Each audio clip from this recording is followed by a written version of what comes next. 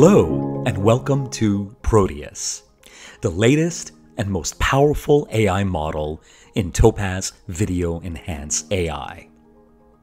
In this tutorial, we'll learn how to use Proteus to upscale and sharpen video, fix compression artifacts, remove noise, and anti-alias any aliased content. Once you've launched Video Enhance AI, choose the Browse option and select the videos that you'd like to process. Let's get started with upscaling standard definition video. Now, this clip over here is standard definition at a resolution of 720 by 405. So now we want to upscale this to 4K using the new Proteus model.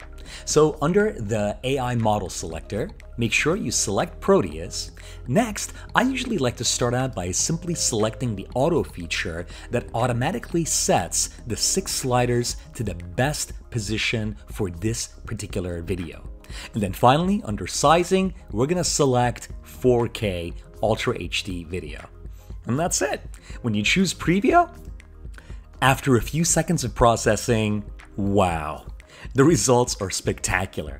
As we pause these frames and go through them one frame at a time, the first thing I want you to notice is if you look at the upper left of the cheetah, there is practically no hair that's visible from the standard definition clip. Whereas on the right hand side, the AI is actually hallucinating or imagining all these fine details.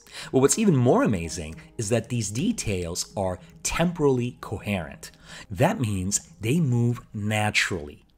So as we look at the body of the cheetah, we can see that on the left-hand side, there really isn't too many details that are on his fur. Whereas in contrast on the right, the upscaled video through Proteus has produced all this incredible fur that was simply invisible in the original standard definition video. So this is what happens when we use just the default settings that are in Video Enhance AI. As you can see, they produce incredible results. But let's say we want to take this a little further and take control of the Proteus model. Because in contrast to some of the other models that are in Video Enhance AI that don't have any controls, the main strength of Proteus is your ability to fine tune all the settings to be exactly the way you want them to be. So for this clip, here's a couple of things we're going to change. First, for the revert compression, there really isn't too many compression artifacts, so we're going to turn that off. Recover details, I'm going to bring that up just a little bit higher. Sharpen is pretty good. Reduce noise, there's really no noise in this clip, so we can bring that all the way down to zero. Dehalo is for videos that might have haloing problems like old analog content. So we'll bring that down to zero as well. And deblur is perfect. This is when Proteus is going to remove any kind of blur that could be either from the lens blur or just a little softness in your videos. We're good with the settings. We choose preview once again. So now, after a few seconds of processing, the results are a lot better than what we had the last time. As we transition to another clip, let's take a look at what happens when you process videos that are coming from standard definition that can be either on a DVD, a DV tape, or any other analog material. So as we look at this video, the first thing that you notice is that the aspect ratio is 4 by 3. So we're going to use the Proteus model to upscale this to high definition, so we're going to select here HD at 1920 by 1080. We'll choose the auto option just like before, but you'll notice that there are actually two different ways of handling a 16 by 9 ratio. We can either choose to turn off crop to fill frame, which means that now it's going to place black bars along the left and the right side of your video, or you can choose to crop to fill frame, which means that now your standard definition video will be cropped so it will perfectly fit inside of a 16 by 9 window. Now let's look at sharpening your existing videos. Now this video here might seem like it's perfectly sharp, but we're gonna make it even better. So once you got the video selected, as always, select with the Proteus model, We're going to choose the auto option, but this time we don't want to change the size of the video. So we're going to maintain just 100%. So we're not going to be upscaling our video. This particular video does not have any compression problems, so we turned that off. Recover details is fine, sharpen is fine. There's really no noise in this video, so we turned that off. Dehalo, we don't need that. And for deblur, we're going to bring that up just a little bit, and let's ask for a preview. After a few seconds of processing, wow. As we get closer to the video, we could see that in the original video on the left, we really can't see the textures that are on her face or the textures that are on her clothing. As we pause and advance through the frames, it seems like everything in the video is sharper and better. Details that were simply hidden in the original video have now been enhanced and are now more visible. Now let's move on to one of the biggest problems in videography, which is low light or noise. So in this clip, this is 25,600 ISO. Let's go to a good frame to do a little preview.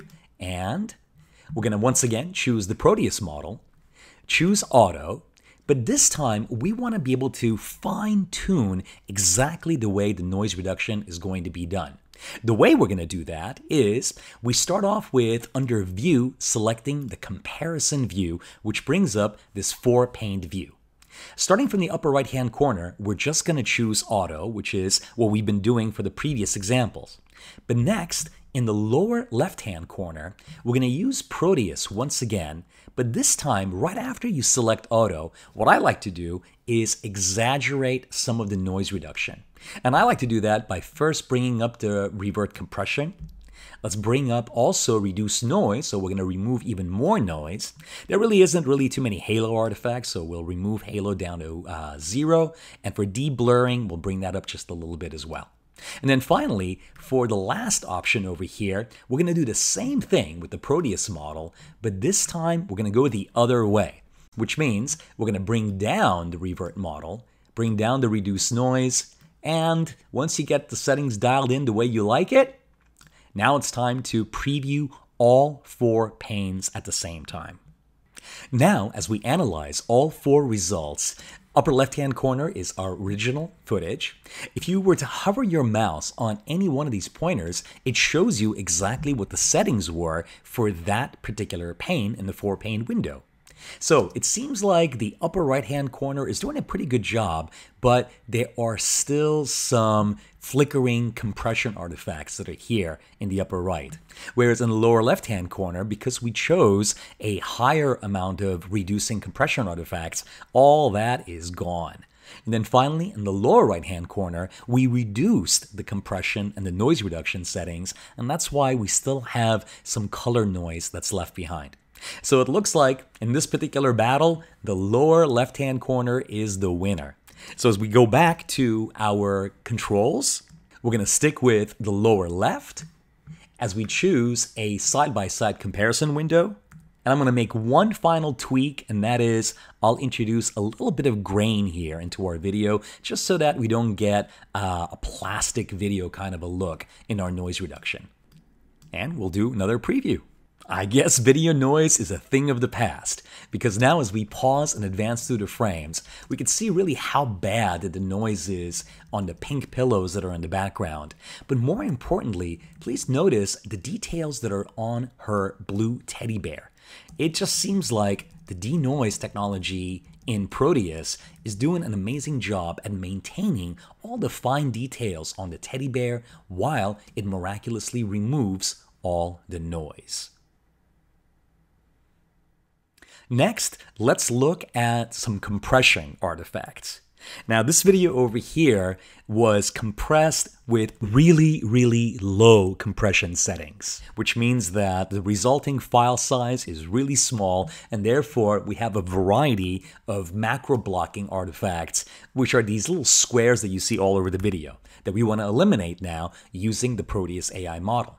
Select Proteus, we're going to choose Auto, and you can see that automatically Proteus understands that the revert compression has to be high for this particular video. We're going to leave that the way it is. Recover details is fine. Sharpen is great. Reduce noise, we really don't have too much noise, so we're going to bring that down to zero. There's really not too many halo problems, so we'll bring that down to zero. And we're going to bring up the deblur here just a little bit as well. We're going to scale this video up by 200%. And let's do a quick preview. As we examine the results, the first thing that we noticed is all of the macro blocking problems have now disappeared. But even more importantly, as we look at the mountains here in the background, in the original video, the compression problems are removing any of the subtle details that are on the mountains. Whereas now, as we look at the right hand side, we could see that the AI is rendering in all these subtle details that are going to add realism to the snow. It's really hard to believe that such a highly compressed video can be transformed so easily with Proteus. And now the last thing that we're going to look at is removing aliasing problems from either computer generated material or from sensors that drop out pixels or scan lines. Any video that you might have that suffers from aliasing, and uh, aliasing is essentially these jaggies, where you can see the pixelated edges that look like the stair stepping problems. So we want to fix that now once again using the Proteus model.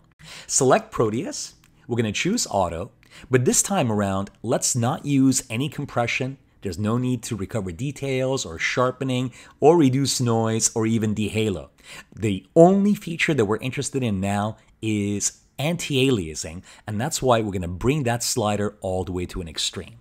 We're also going to upscale this 400% just so you can really see the difference between the aliased video and the anti-aliased version of it.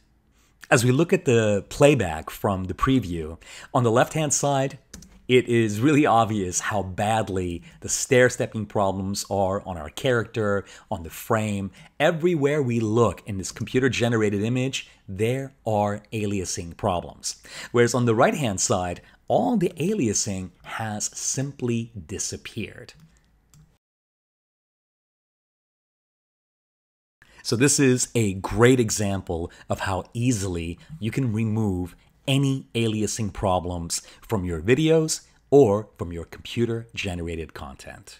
So now that we're done setting up all of our videos, the only thing that we have to do now is select all, which selects all of the videos that we've already set up, and just choose the Start Processing button in the lower right hand corner. And that's it. To learn more or download your free trial, visit topazlabs.com forward slash video dash enhance dash AI.